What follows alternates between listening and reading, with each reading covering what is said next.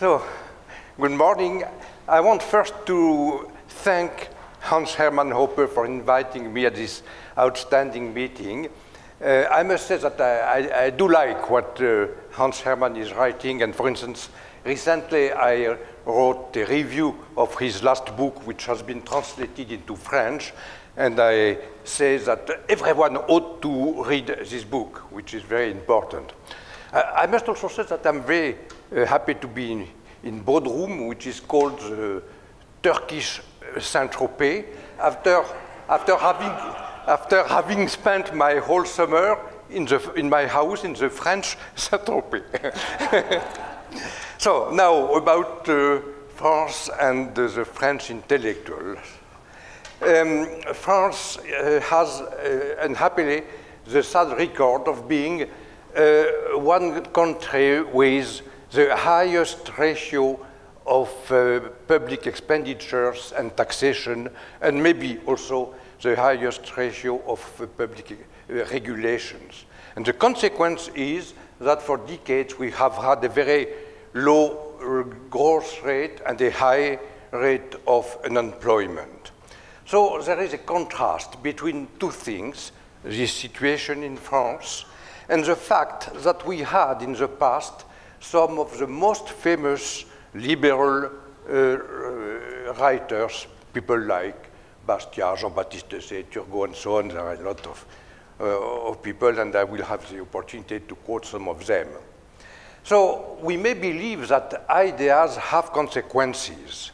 And so we may wonder how it is, why we can explain that uh, these very important liberal writers which have been known all around the world could not convince French people so that France would be a model of liberalism. I must say that I have tried to give an answer to this question for forever, and I'm not certain that uh, I could really find the explanation. And this meeting was for me an opportunity to think again uh, about it. Um, someone uh, asked and, uh, once uh, to Milton Friedman, how is it, how do, can you explain this situation, this contrast between the two things? And Milton Friedman answered, you know, in order to describe hell, you have to live inside it. so this is true, this is true, but anyhow, anyhow, the most important liberal uh, thinkers have written their book at a period which was not the worst. Uh, France, uh, it was at the beginning of the 19th century, and little by little, France has become less and less liberal, especially in the 20th and 21st century. And I think that right now we are in hell. I have to, uh, to accept that. But it is not during these recent decades that these important liberal uh, uh, writers uh, wrote their books. Therefore, we may assume that there is a reverse causality. State interventionism is an obstacle to the development of liberal ideas, and I think I can give some example of that in my presentation. In reality, there has always been in France the juxtaposition of liberal and extremely interventionist and authoritarian ideas. And I will try to summarize this uh, history, both history of France and history of intellectual ideas. Uh, in the 18th century, the, the physiocrat believed in the importance of individual freedom one of them is very famous, is Turgot, who is a great liberal. And the physiocrats, I think, laid the foundation for a liberalism which will develop later in French and English, uh, for instance, uh, Adam Smith. The French Revolution in uh, 1789 uh, may be considered as an example of the influence of ideas on social events. In fact, one may consider that the physiocrats had contributed to a change in public opinion, and thus the revolution, the French Revolution, has been a strong supporter of individual freedom, freedom of contract, and human rights. The official motto, as you may know, the official motto in France is freedom, equality, fraternity. It appeared during the revolution, but it became the official motto in the Constitution of 1848. Initially, equality meant equality in rights, as it has been claimed in the declarations of the rights of people and citizens of the revolution, according to which the, uh, there is a famous sentence, all human beings are born free and equal in rights. However, in the 20th century, particularly, equality has been interpreted as an equality in standards of life and a justification for redistributive policies. However, the French Revolution also offers to us an example of the ambiguity of French ideologies and policies. As soon as 1793, there was what has been called the terror, period uh, in which the state, uh, statesmen uh, killed their opponents. And uh, the revolution also, I think, uh, put the basis for a development of public powers. Some years later, Napoleon, Emperor Napoleon, uh, took the power and he developed very uh, important state activities and uh, authoritarian and an authoritarian regime. And in particular, he decided that education had to be done by the state, which has, I think, many consequences. At that time, uh, certainly, liberal ideas had not disappeared. It has been the time with the most famous liberal writers, and I can quote some of them and you know, I suppose, most of them. Benjamin Constant, for instance, who thought that uh, uh, the politi political power, even if it is democratic, has to be limited in order to be respectful of individual liberty. I think that the best one is Frédéric Bastiat. I will not try to summarize the ideas of Bastiat. I suppose that most of you have read Bastiat, and if you have not, uh, as soon as you come back to your home, you buy books by Bastiat and you read them. He's really fantastic.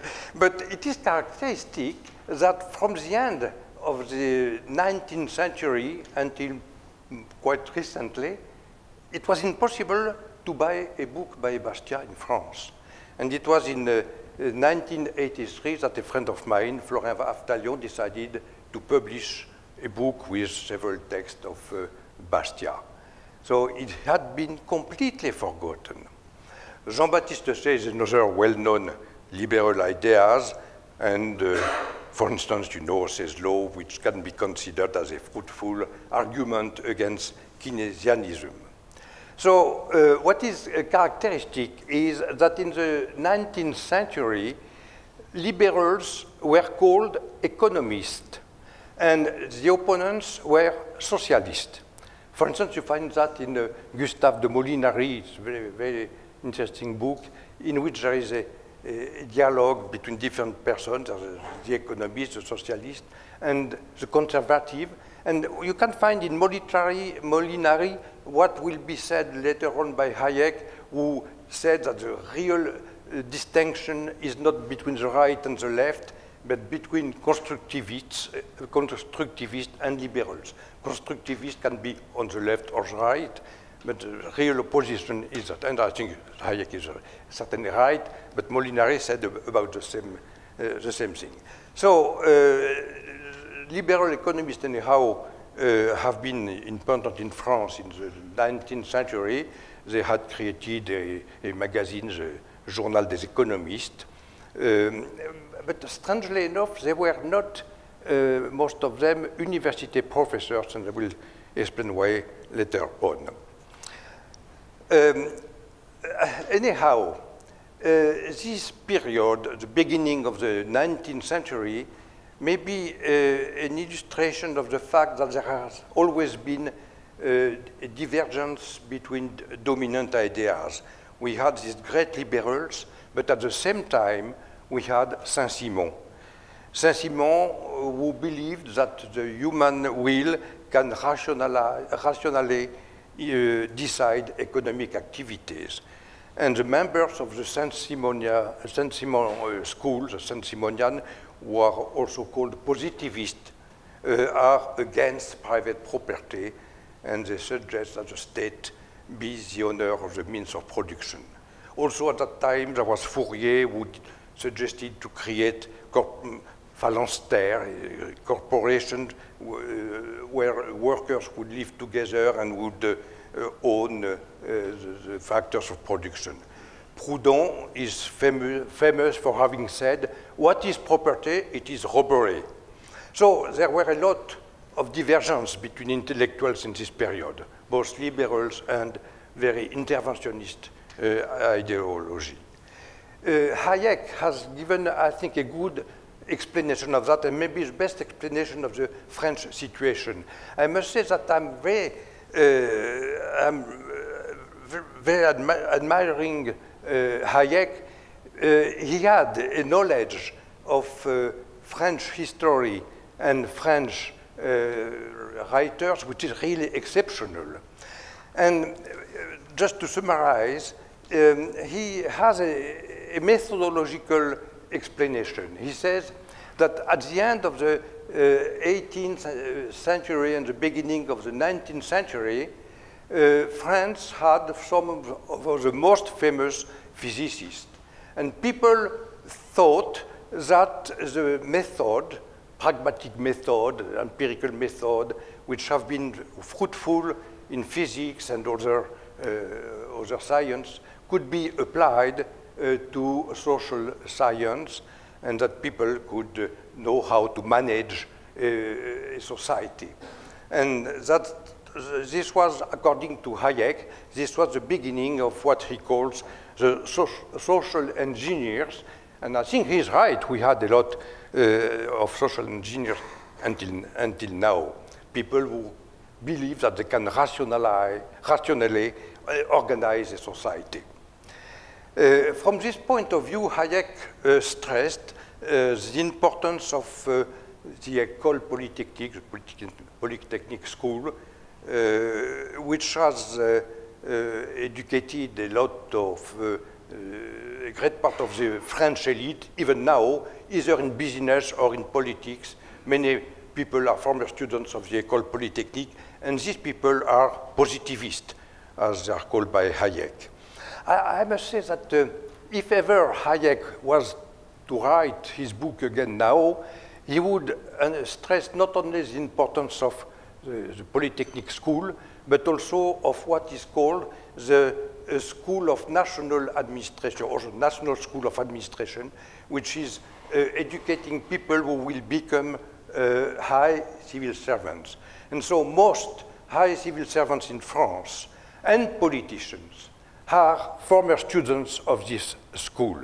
And just to give an anecdote, strangely enough, I was asked once to deliver a course on international economics to the students of this uh, administration school. And the president of the school told me, but first you have to meet the students to explain what you want to, to, to deliver as lectures. So I did it. I explained uh, theory of uh, uh, international trade and so on. And all students, all of them, answered to me, we are not interested in ideas. We don't want to understand. We want to know how politicians decide. So you see that the education in this school is very bad. they don't want to understand. It is very bad. It is, a, it is corporation, something but most, as I told you, most people who are in charge of France are former students from this, uh, uh, from this school. Um, Hayek, uh, to come back to Hayek, he has also written in his book, The Counter-Revolution of Science, he has written a lot about Saint-Simon and the Saint-Simon school, the Saint-Simonian, the positivist, and he says, uh, rightly, that they have played an important role, role in French ideology and French policies. So the characteristic of the French society and French politics are certainly contrary to what the famous liberal thinkers have written, but they are coherent with other dominant ideas, the ideas of the positivist. And from this point of view, there is not a paradox in France, in France uh, but there is a coherence between these realities and part of the intellectual uh, mainstream. Hayek has uh, devoted many pages in his book uh, Euh, to, to, dis to, discuss Saint-Simon ideas, and he says that he has inspired Hegel. From this point of view, it can be said that ideas have consequences, at least bad ideas, unhappily. And the importance of Marxist ideas in France in the 20th century may be considered as coherent with the importance of Saint-Simonian idea. I must say that I have always been uh, fascinated by the attention given by Hayek to French problems, which may mean that it is impossible to find in other parts of the world uh, some uh, similar situations. Uh, Friedrich Hayek used to say, if ever one day in the future France is liberal, it will mean that the whole world had already been. So, thus he considered that uh, France was the less liberal country in the world. And let me just uh, quote um, something which is one of my great mem memories. With some friends of mine, we had organized a, a, lecture of Hayek in the National Assembly. And the day after, I visited him, and he told me you and your friends are part of the hope I have in the world. just considered that having liberals in France was something very important, uh, given the, the, the, the, idea he had about France. So let me just uh, come back a little to the beginning of the 19th century to stress that in fact the policies which have been uh, made, economic policies, uh, I have an economist, I am an economist, so I am uh, focusing on the economics. economic policies in the 19th century can be considered as liberal policies. Free trade, and etc. Et it was the, development of uh, capitalism and so on. Uh, but at the end of the 19th century, there was a development of uh, social Catholicism. And in the 20th century, it was very uh, active, and uh, social, social Catholicism has inspired many uh, organizations. We had a great influence in, in France. But Marxism also has been very influential in France in the 20th century. After the Second World War, it has been, I think, the most important ideology in France, in particular in uh, universities. Uh, at the end of the 19th century, a revolutionary trade union had been created, uh, CGT, uh, and this uh, trade union is still very active, and it is at the origin of many of the strikes we have. We may be also a record state as regards the number of strikes. Let me uh, point out some things uh, about uh, education in the 19th and 20th century. Uh, France has always been a very centralized country with a very strong state. And uh, we, uh, are, we have always been in a situation in which the state had the possibility to influence mainstream ideas. For instance, in education, there is a monopoly of the state. All schools, nearly all schools, are public schools. It is forbidden to have in France more than 20% of private school, even now. And even those so-called private schools are obliged to hire the professors uh, nominated by the state, and they have to, uh, to teach the program decided by the Ministry of Education. So there is a very great influence uh, of the state. That's why I told you that there may be a reverse causality. It is not ideas, and happily, uh, when there are liberal who are influencing uh, the society and policies, but uh, the state has a possibility to influence uh, ideas. As regards universities, all of them are public universities, and they are developing ideas we are in favor of, of the state. I must say, believe me, that it is not that easy to be a liberal in a French university. Uh, and whenever, for instance, a student came to me to write with me his doctoral dissertation, I felt that I had to tell him, you know, to take a risk, because if, for instance, if ever you want to become, uh, to have a, an academic job, it is dangerous to have written the dissertation with me. Uh, but anyhow, some of them, some of them did, it, and some very good students, but unhappily, most of them are out of France now, and I do regret that. Um, so, uh, in the, in the, at the end of the 19th century and in the 20th century, there were still some, uh, um, some uh, professors of economics who were considered as liberals, but in fact they were quite often in favor of state uh, interventionism. Uh, and uh, the socialists have been more and more influential. Uh, during the Second World War, communists had first been close to Russia and Germany, uh, but some trade unions uh, came close to the liberalization movement. And at the end of the war, General de Gaulle, who is considered as a conservative politician, in fact, was very close to communist and uh, socialist.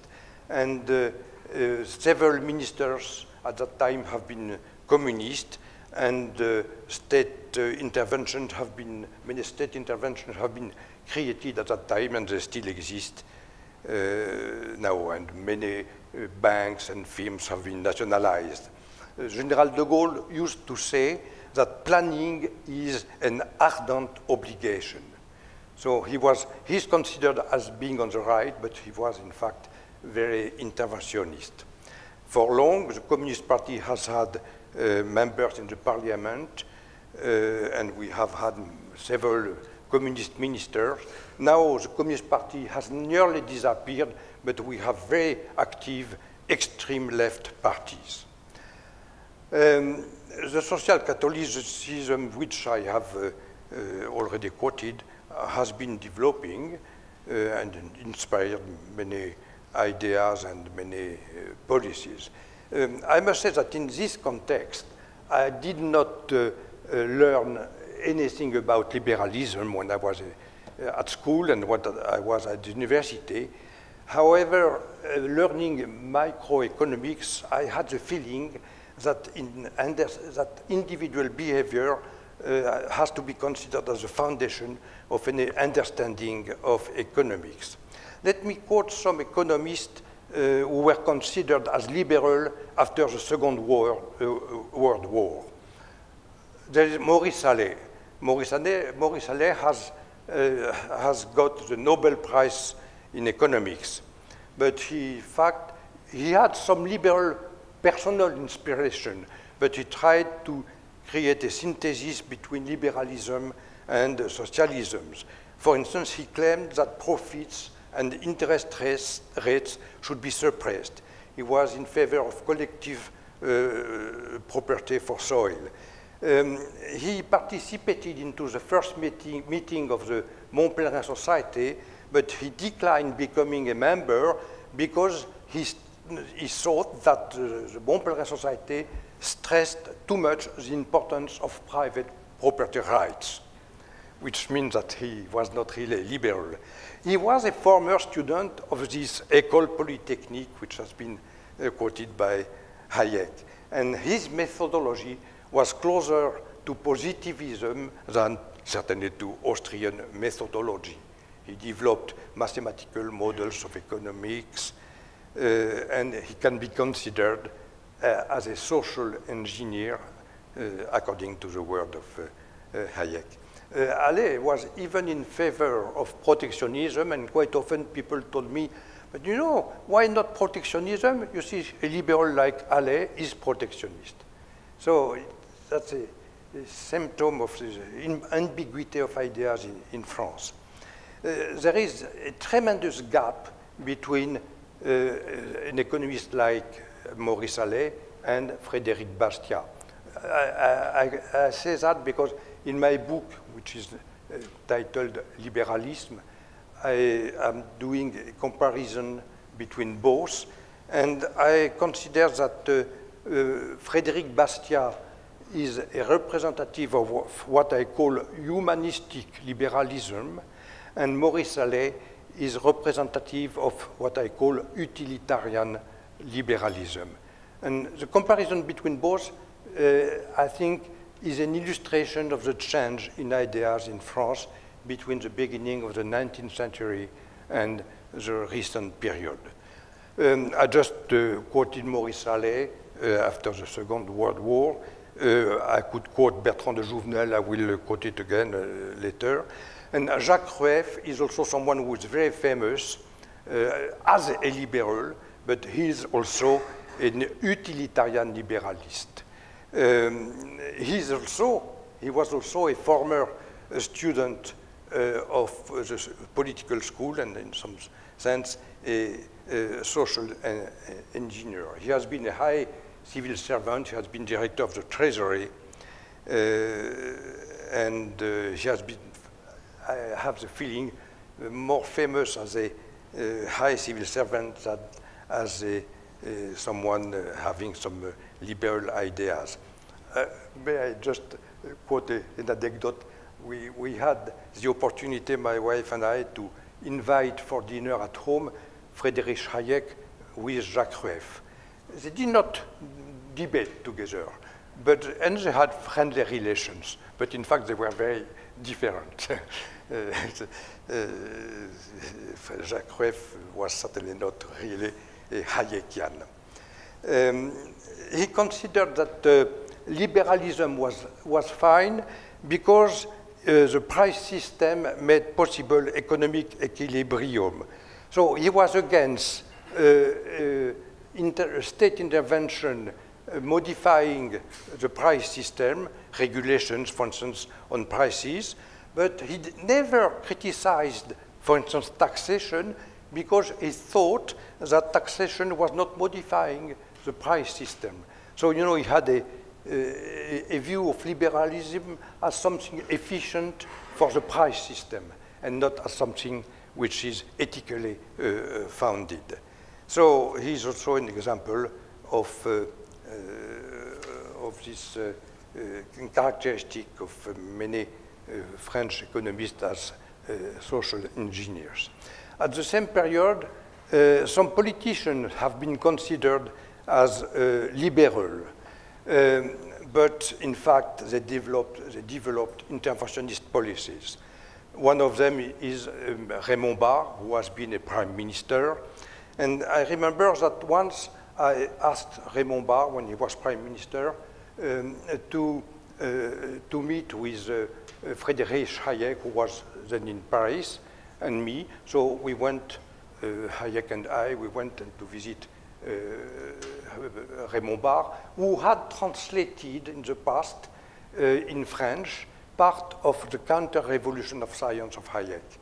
But he did not translate the chapters about France, which is really strange. And so I was surprised because uh, our meeting uh, could last only a quarter of an hour, and it seemed that Raymond Barre was not really interested in meeting Hayek. And Hayek told him that he had to do a very strong uh, policy against inflation. And Raymond Barre laughed. Oh, it's not that easy, as easy as you believe. he was really uh, not very close to, uh, to Hayek. So in spite of the fact he was considered as a liberal prime minister.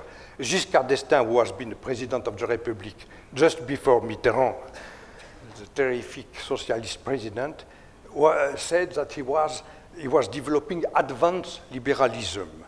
But in fact, uh, I had always the impression that he was preparing uh, the, uh, the, the, the, coming of socialists. Whenever the socialists were proposing uh, something, he did not uh, propose the river, a contrary uh, policy, but he said, okay, that's good, but maybe we have to do it a little smaller. And uh, he had said that, tax, that France would become a socialist country if ever taxation was 40%. But during his presidency, taxation increased from 33% to nearly 40%. So he really uh, transformed France in a, into a socialist country as a liberal. After he had been a president, I had the, the opportunity of a meeting with Giscard d'Estaing, and um, I asked, uh, Mitterrand was the president, and I, I asked him, but why have you not done a liberal policy when you were the president of the Republic? And he answered, as there was an economic crisis, I did not want to implement liberal policies because people would have said that liberalism was responsible for the economic crisis. he had not understood that liberalism was the way to solve, to cure the economic crisis. So after Giscard d'Estaing, we had this terrific socialist president, Mitterrand, who uh, developed uh, many uh, interventionist policies, nationalized banks, firms, uh, increased regulation, taxation, and so on. And quite he was elected in the 81st, 1981, and very rapidly people had the feeling that he was not successful. And liberal ideas were growing in importance. I was very optimistic at that time, uh, and with uh, some uh, friends, we organized regular meetings with liberal politicians in order to prepare the alternation, because we knew that in 86 there would be uh, an, an election at the National Assembly, and that probably uh, the right would be uh, successful, which has been the case. Um, therefore, uh, and at that time, Jacques Chirac was considered as the, as the leader of the right, and in fact, in 86, he became the prime minister. Mitterrand was still the president of the Republic. And uh, Jacques Chirac had said that we, had we should de develop uh, a, what he called travaillisme à la française, uh, I, I, should translate that, a labor philosophy at the French fashion. But he discovered that uh, liberal ideas were getting more importance, and so he asked me to uh, organize, to, interview, to make an interview of him in order to give the feeling that he was a liberal. So uh, I did a very long interview. I, I, must say I wrote both the question and the answers. but in fact, we had the opportunity to discuss with uh, uh, Chirac and his advisor Alain Juppé, who will be later on his prime minister. And they more or less agree, they agreed with what I, what I, what I wrote.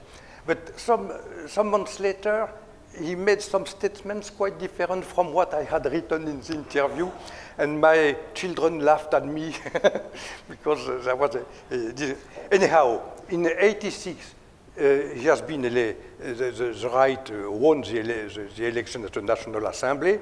I was still very very uh, uh, optimist because there were six liberal ministers, ministers who, who were very close friends of mine, but Jacques Chirac was the prime minister and he did not do uh, liberal policies, uh, except maybe uh, he suppressed happily the wealth tax created by Mitterrand. But anyhow, two years later, in 88, he lost the presidential election, and people said that he lost because he had done liberal policies. and that has always been, there has always been a similar uh, problem in France. Uh, let me, I, I, know I have not much time, maybe I, but may just add something. I, I just would like to, uh, to come back to the problem of education, and, and, especially education in economics, because I think that liberal ideas are quite often uh, expressed by uh, economists. Um, for long, there has not been a department of economics in France, and even when I began my, to be a student, uh, I, I, had to be a student in law, and there was only one course in economics. And, uh, but uh, so economics were considered as uh, being a part of law. You may say that the lawyer can be liberal, but maybe not in France, where the state is so important and there are so many laws, so lawyers are inclined to, uh, to care mainly about existing laws and not about uh, ethical problems. Um, uh, so uh, that may be, it may be one reason why uh, liberal ideas did not develop in, in French universities. Um, according to a a French economist who, have studied this problem.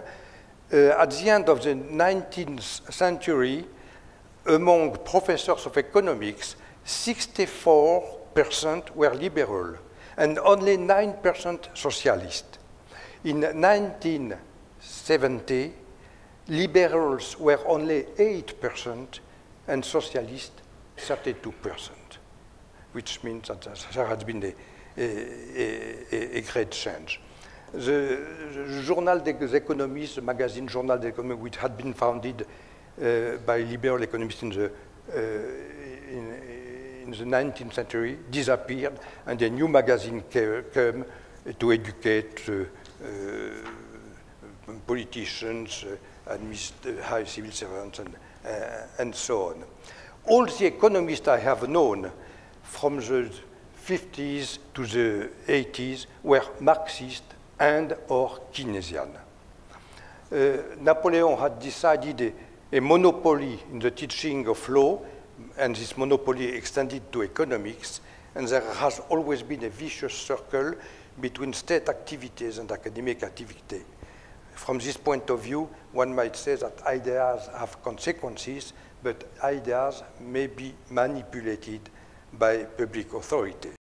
And to end, I would like to, uh, to give some uh, personal uh, memories. Uh, when I was a student, I remember that I was taught something which was more or less a sort of social charter with good feelings, uh, uh, more or less inspired by Catholic social Catholicism. And with a few friends, we had the feeling that we did not uh, learn economics, and we created what we called the Jean-Baptiste Say Seminar, which still exist. Uh, and our professors told us, you are reading American magazine, and you are therefore in the trailer of American imperialism. you ought to develop a purely French way of thinking. So, uh, uh, little by little, we, we discovered uh, economics um, by reading the American and British maga magazine. Um, at, that, at, that, time, Keynesianism was not that developed, developed very rapidly later on. Um, and for instance, we had been surprised with my friend to discover that uh, Jacques Rueff did not know anything about, uh, about Keynes. But our first discovery was a Chicago school because we wrote a book on permanent income and it gave me the opportunity to meet uh, uh, Milton Friedman. I discovered uh, Robert Mundell, uh, whose writings inspired my doctoral dissertation. I still consider that he's a, a, great economist and that it is possible to, to find uh, some coherence between what he developed uh, and Austrian economics, except as regards the optimum monetary area. And later on, but rather late, I discovered Hayek and the Austrian school. And I had immediately the feeling that I had always been an Austrian without knowing it. I think that the first text I had uh, to read was The Role of Knowledge in Society of Hayek. Uh, in two, if I can just add uh, one uh, uh, personal anecdote, anecdote, in 2004, I was uh, appointed as the president of what we call concours d'agrégation. It is a recruiting committee. Every two years, there is a committee which is appointed to no nominate all the new professors in economics for all French universities, which is important. So it may be considered as strange that I was appointed as president, uh, but it was because there, are, there were rules and I had to be, and the Minister of Education so uh, uh, decided to appoint me. But there has been a terrific media campaign against me and the jury because people said it is not normal that a liberal be the president of this committee to recruit professors in economics, just to show you how intolerant is uh, the opinion. And so it has been a very, very difficult uh, uh, time. And I would like to finish with two things. First, I would like to quote the following. I just finished a book in which I uh, republish articles I have published in uh, newspapers for more than 40 years. And the title for the time, the provi provisional title I give to my book is Right and Left United in Errors. uh, I want to show that there has been uh, a lot of alternations, and especially when socialist governments were failing, as they did. People thought that the right would do better, but the right did exactly the same policies.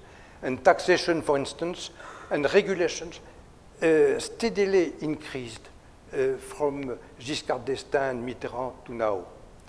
Uh, that's why we, we are a record country.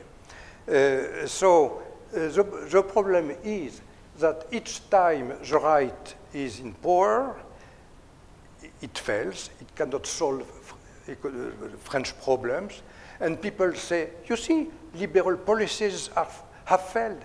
Liberalism is a bad solution.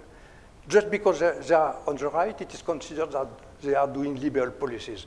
In fact, they are doing socialist policies. That's a real great problem in France. And I would like to conclude, to conclude with a, an idea of Bertrand de Jouvenel. Uh, Bertrand de Jouvenel said that whenever the state is important, is powerful, people do not try to fight the state, but they try to get the power. Uh, and so uh, I think that in that case, people are more inclined to care about politics than about ideas. There is a politicization of social life in France, and people are more concerned by the choice of politicians than by their programs and the role of the state. It can be considered as an illustration of the famous sentence of Bastiat, the state is this great illusion according to which anyone tries to live at the expense of others. Therefore, political debates and intellectual debates are more interested by the possibility for specific categories of people to get power than by general views on the working of the society. And this may be one more reason why liberals have difficulties in being heard. Thank you.